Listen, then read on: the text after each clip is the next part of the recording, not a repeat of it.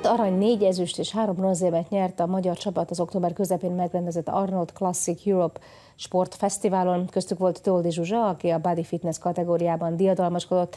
A korábbi középtáv futónő ma már nem a rekordtánon, hanem a pódiumon bűvöli el a nézőket, és persze a mindenkori zsűrit is. Itt van vele párja, Csuhai János, aki a bodybuilding kategóriában lett szintén ezen a versenyen második, de hát azóta egyéb trófák is ugye bekerültek, mert hogy a hétvégén rendezett Superbody bajnokságnak is Zsuhai János a győztese.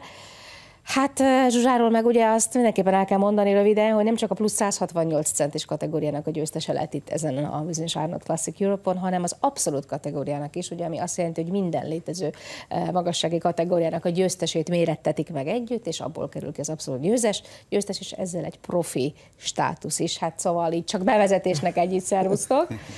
és hogy egy, egy picit, egy kis ízelítőt kaphassunk ugye azoknak a kupáknak és trófáknak a gyűjteményéből, amit részben már nálad is láttam, hogy mi minden van otthon, és hát gondolom nálad is.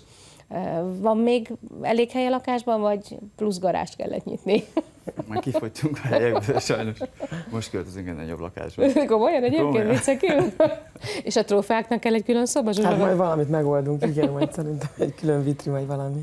Azért ez nem rossz egyébként. Tényleg számot tartott még, hogy mennyi van, és ezek közül melyik a legértékesebb? Vagy mindig a legfrissebb a legértékesebb? Mindig a legfrissebb a legértékesebb, de tényleg ez a legnagyobb díj, amit megnyerhet egy ember amatőr kategóriában, úgyhogy ennél nagyobb nincs. Igen, de az amatőrség ezzel gyakorlatilag bizonyos szempontból véget is ért az életedben, Igen. ha jól értem. Mint amit nem Könnyes bánok. szemmel mondasz az amatőrségnek búcsút, vagy éppen, hogy már nem? Inkább könnyes szemmel örülök a profi, profi kezdetnek. Nyilvánvalóan, hát gondolom azért, ha valaki oly sok évet investált ebben a műfajban, mint ahogy te, meg ti, akkor, akkor az a hosszú távú célja, hogy profi legyen?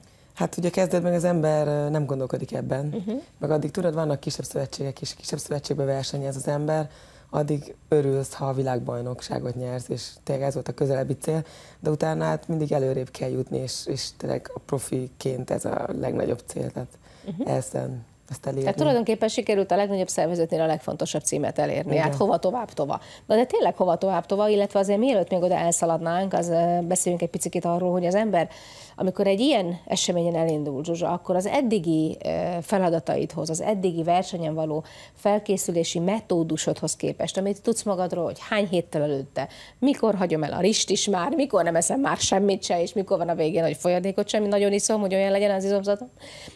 Volt egy picit más más ebben a felkészülésben, mint egyébként korábban, vagy hát olyanok a hozott adottságait, hogy az bőven elég, amit eddig összeraktál magadon. Hát nem, ugye én bikini fitnessben, tehát bikini modell kategóriában versenyeztem, két évvel ezelőtt tavaly váltottam egy úgymond izmosabb kategóriába, ez a body fitness, ez majdnem testépítő kategória, de szerintem a két kategória, fitness és a testépítés között van. Uh-huh. Hát nagyon sokat kellett változtatni, tehát kicsit izmosabbnak kellett lennem, és ide nagyon sokkal jobban be kell szákásítani, mint mondjuk egy fitness modell kategóriában nyilván, tehát itt az izomzatnak le kell válni. Úgyhogy ezt tavaly próbáltam, akkor indultam először Arnoldon, akkor nyertem a kategórián, de ugye az abszolút nem sikerült és akkor már így puhatoloztam, hogy mi az, amit változtatni kell. Idén ezzel sokkal jobban változtattam, tehát kicsit izmosabb lettem, próbáltam még szárazabb lenni, és négy hét ezelőtt volt nekem, tehát az Arnold négy héttel volt egy világbajnokság, ahol negyedik lettem, és szerintem nem sikerült eléggé beszákásodnom, plusz egy picit izmosnak találtak a lábam, uh-huh. és volt egy bíró, egy IFBB-s bíró, aki tanácsolta, hogy egy kicsit fogyjak tényleg lából, és ugye négy hét alatt ez nagyon nehéz, mert akkor már le vagy szákásodva, tehát itt igazából izomból kell veszteni, úgy, hogy felülről ne veszítsek Azt meg lehet csinálni, hát, az ember elvágja magát így hastájékon igen. gyakorlatilag. Tehát sokkal többet kardioztam, levettem a szénhidrátot, és sokkal többet választam, hogy a vállam ne essen össze. Tehát uh-huh. így ki kellett uh, puhatolózni, hogy ezt hogy oldom uh-huh. meg. Tehát sikeres De volt. Sikerült, Igen. sikerült, abszolút így igaz.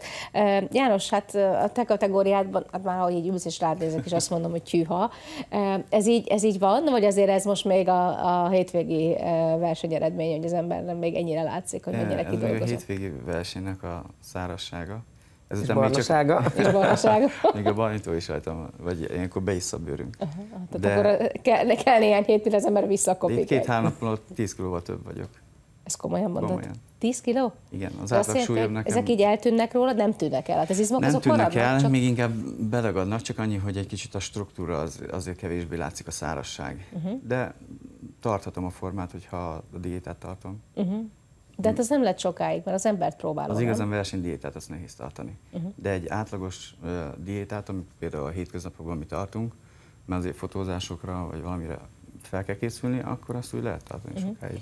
János, mennyire uh, életforma ez, ahogy, ahogy végül is ti éltek? Tehát gondolok itt arra, hogy nyilván az ember hát nem tudom, hogy karácsonykor igazából elengedi -e magát. Tehát ez az év 365 napján feltételez Igen. egyfajta hozzáállás. Nyilván vannak versenyidőszakok, amikor még komolyabban kell ezt venni. Tehát mennyire lehet ebben úgy élni, hogy végül is ez van, ezt csinálom, ezt oktatom, ezt tanítom, és ebben a metódusban foglalkozom mással is. Mindig azt mondjuk, hogy a bodybuilding az napi 24 óráról szól. Tehát tényleg meg kell tervezni előre a napodat, mind ételek terén, edzés terén, pihenés terén, minden terén, de egyébként ezt nagyon jól be lehet igazítani a hétköznapokba. Karácsonykor mi is bűnözünk, szóval Igen? nem van az, hogy csak nincs az, hogy csak nézzük a karácsonyi asztalt, és akkor csepeg a nyárunk.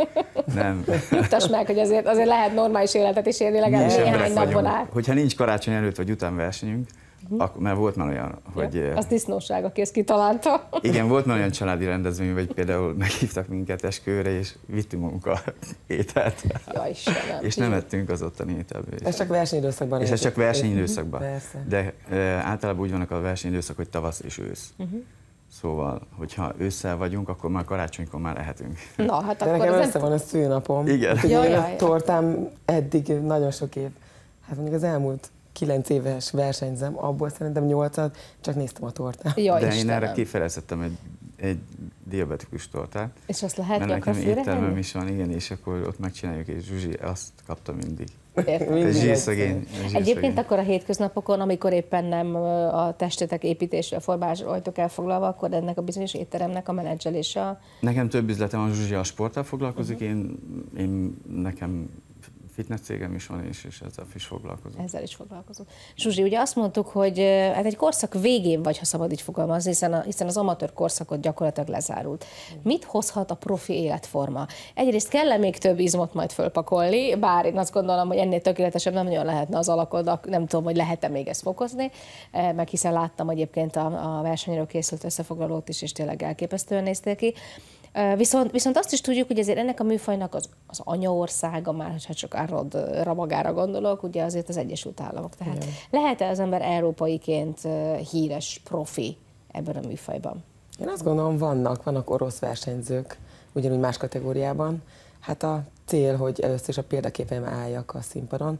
Én pont azt terveztem, megpróbálom egy versenyt Európában, és mondjuk egy időben megpróbálok egy amerikait is, és megnézem, hogy mi a különbség mondjuk a helyezésekben. Uh-huh. Nyilván ö, talán európaiként nehezebben futsz be Amerikában, de én azt gondolom, hogy megpróbálom, és nekem nem célom, hogy kiköltözök Amerikában, abszolút magyarként akarok versenyezni, uh-huh. és szerintem Európában is lehet az ember híres, most az, hogy nem Amerikában kevesebben fogják ismerni, szerintem ez nem probléma. A, a profi életforma azt is jelenti, Zsuzsa, hogy ebből meg lehet élni profi módjára? Tehát nem akarok a zsebedben turkálni természetesen, csak hogy... De igen? Persze, ilyen, ilyenkor már pénzdíjas versenyek vannak, ugye amatőrben abszolút nincs, tehát ott egy érem Akkor, örül neki Tehát ott gyakorlatilag ott csak investálsz, befektetsz, folyamatosan Igen. befektetsz. És... Ilyenkor is vannak az emberek szponzorai, akik nyilván segítenek, uh-huh. tehát azért kijutásban, anyagi háttérben, de nyilván egy profit sokkal jobban fognak szponzorálni. De nem a saját sikereidből élsz, hanem abból, hogy mondjuk másokat oktatsz, ha jól értem például. Nyilván igen, személyedzőként, uh-huh. de mhm. hogyha az ember profiként egy olyan szponzort kap, hogy ne kelljen mellett dolgozni, és csak a versenyre tudjon összpontosítani, most inkább inkább a férfi testépítőkre gondolok, ugye akik a Mr. Olympián részt vesznek, uh-huh. nyilván ők nem dolgoznak, hát hasonló lenne a cél egy nagyon jó szponzor, uh-huh. vagy a jelenlegi szponzor nyilván javítson a szponzoráción, ez egy célzás. Innen, innen üzenjük, haló! Igen. Hát ez nagyon jó lenne, uh-huh. de mellett azért gyere még dolgozni kell, persze. Uh-huh. Világos. És ez, ha, ha a profi életmódot vállalod, akkor, akkor is úgy lesz, vagy akkor azért fogsz tudni teljes egészében csak erre fókuszálni szerintem? Én azért ne, én szerettem ezt a munkát, és szeretek versenyzőket felkészíteni, úgyhogy abszolút nem akarom feladni ezt a munkát, mert persze céget vezettek, meg besegítek a saját vállalkozásunkba, hát ez is a, nyilván a saját utunk a cél, hogy az elsődleges, de hát a versenyzők meg, ha olyan válogatott vendégeim vannak, akiket nagyon szeretek, mint barát is, akkor is szívesen segítek neki. No, hát akkor építsétek a saját vállalkozásotokat, a saját utatokat, meg a saját testeteket, mert az, mert az kiderült, hogy ebben is nagyon jók vagytok, úgyhogy szívből gratulálok a sikerekhez. Köszönöm, Köszönöm szépen. szépen.